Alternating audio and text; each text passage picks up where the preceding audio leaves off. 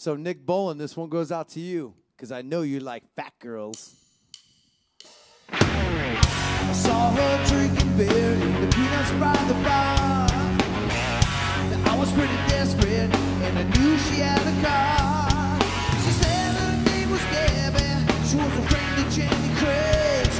She had like watermelons, like